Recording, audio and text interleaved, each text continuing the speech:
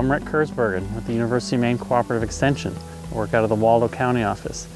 So cold nights and warm days mean a couple things in Maine. One, people think of maple syrup season, but for livestock producers, most people think of the opportunity to improve their pastures and hayfields with a technique called frost seeding. And frost seeding is kind of a low-tech wonder that many farmers use to try and increase the diversity and the composition of their hayfields, grasses, and legume species to improve quality and production. So how does frost seeding work? Well, you need a few basic things to make sure that you're successful. One is you want to make sure that your soil conditions are correct, meaning that the soil pH and fertility levels are fine. You need to do that in the fall and take a soil sample. The other thing you need to think about is how are you going to manage the species and grasses that are going to exist in your new pastures. So you want to pick species and grasses that you can manage well with either your livestock and grazing or for management for mechanical harvest is hay or silage. Perennial ryegrass and legume seeds are usually the two types of forages that you want to use for frost seeding. Some things that are important are timing. We need to use Mother Nature to make frost seeding work well. You need to have soil conditions that are going to allow for freezing and thawing. So late March, early April are perfect times in New England to think about frost seeding because the ground freezes at night and thaws during the day.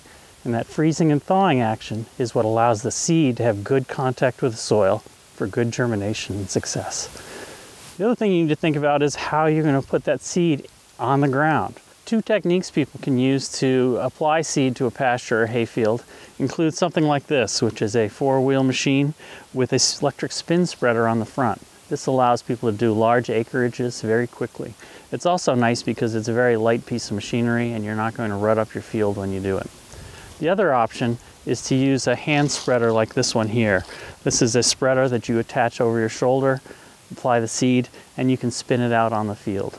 Now you need to calibrate these seeders so you're not putting out too much seed or not enough seed.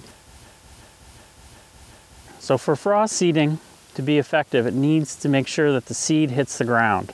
So if you have a situation like this where you have lots of dead thatch and you try and frost seed into this, you're not going to be successful because the seed is going to land on dead grass and not get in the soil. Whereas in this situation, in a pasture situation, you can see that there are spare soil. And so when the seed is deposited on the ground, it has a much better chance of getting in the soil system.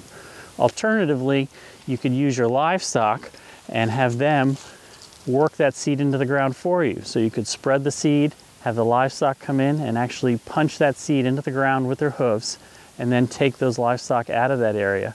And basically you've achieved the same thing of getting good soil to seed contact using your livestock as a method instead of the frost seeding action.